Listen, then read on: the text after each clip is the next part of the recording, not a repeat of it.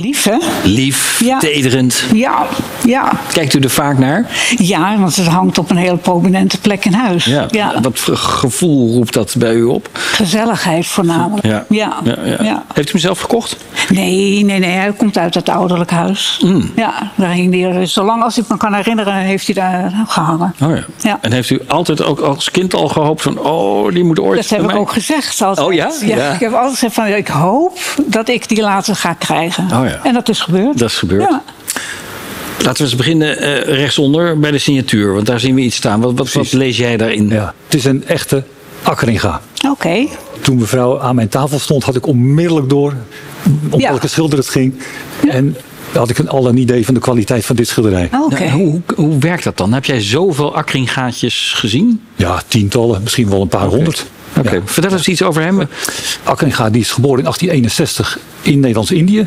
Oh, Hij was de zoon van een Hollandse vader en een Chinees-Indische moeder. Ehm, en die vader die overleed al op een heel jonge leeftijd, toen hij een jaar of drie, vier was. En daardoor is hij van Indonesië verhuisd naar Nederland, Nederland. om hier verzorgd te worden door een tante.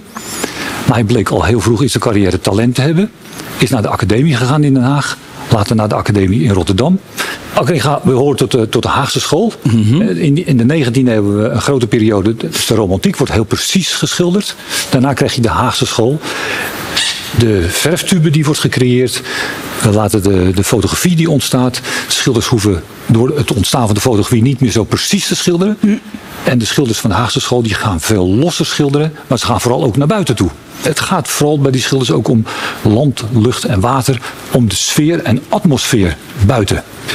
En Akringa die ging ook graag naar buiten. ja. Ze geven zeg maar een impressie weer. Exact. En daarom noem je dit impressionistisch? Exact, impressionisme. Ja, dit is op een losse manier geschilderd als een impressie van een bepaald moment van de dag. Ja. En dit is, deze compositie, dat noemen we trouwens een theeuurtje. Oh ja. Compositie met figuren aan een tafel met een kopje thee. In dit geval een ongelooflijk lieflijke voorstelling van een moeder met kind die allebei aan het handwerken zijn. Ja, borduren. Ja. Ja. De kleuren zijn ook nog best goed, hè? Het is een lekker fris schilderij. Ja. Zeker. Was het altijd zo hem- fris? Nee, nou ik heb hem twee jaar geleden, in 2018, heb ik hem laten restaureren, laten opknappen. Zo Hmm. moet ik het zeggen. Omdat er wat eh, ja, rookaanslag zat van de sigaretten.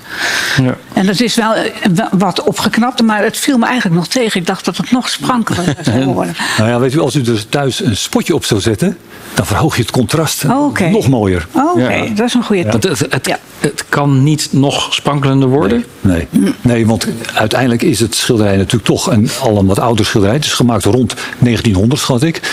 Dus dat heeft al een respectabele leeftijd. Ja. En die verf is gewoon ouder Ja, geworden en daardoor ook wat donkerder meestal. Ja. Ja. Ja.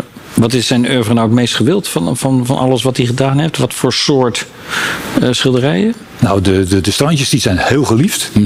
Maar dit is misschien wel het summum. Ja? Ja. Ja, dit is een karakteristiek eh, schilderij uit zijn oeuvre. Er zijn trouwens nog wel een ander, paar andere onderwerpen die hij graag schilderde. Ja. Hij heeft ook veel bloemstillevens gemaakt. Strandjes met kinderen. Hij heeft ook veel eh, nette boetende vrouwen geschilderd. Die net aan het repareren zijn in de duinen.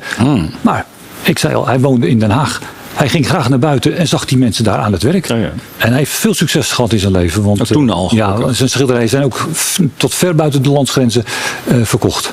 Oké, Ja. mooi. Nou, u heeft een, een, een, een mooi schilderij waar Willem de Winter goed, hè? eh, ja, Ja, heel enthousiast van Ja. wordt. Dat is altijd leuk. Willem, als deze op een, een kunstbeurs komt te hangen, Ja. wat voor prijskaartje staat hij dan linksonder? Nou, ik denk toch tenminste 25.000 euro. Je meent het. Ja. Zo. Ja, daar krijg ik het warm van. Geweldig. Moet ik maar gaan verzekeren dan? Nou, hoe gaat hij nou weer mee naar huis? Ja, die gaat zo achter de bus in. Echte Caravaggio. Mooi hè? Heel mooi. Ja. Leuke dag gehad? Ja, hele leuke dag. Ja. Dankjewel hè. Fijne dag. Doei.